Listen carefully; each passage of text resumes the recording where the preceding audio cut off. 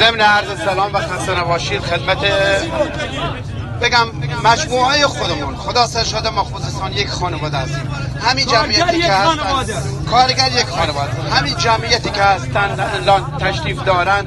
خدا سرشاده این ماه یک ماه دور از حقیقت نیست. من چیزی نمی‌خوام بگم که کذب باشه.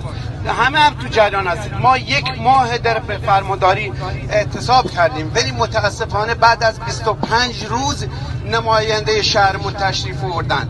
بعد ما انتظار داشتیم این نماینده شهرمون حالا که بعد از 25 روز تشریف آوردن حتما با دست پری اومدن. باز متاسفانه آب سردی رو دلمون انداخت. و هیچ نتیجه او نگرفتیم.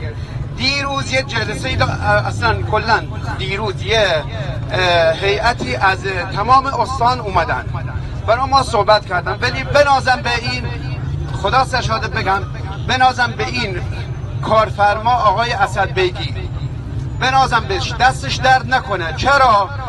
یعنی این آقا تمام مسئولای استان جمع کرد.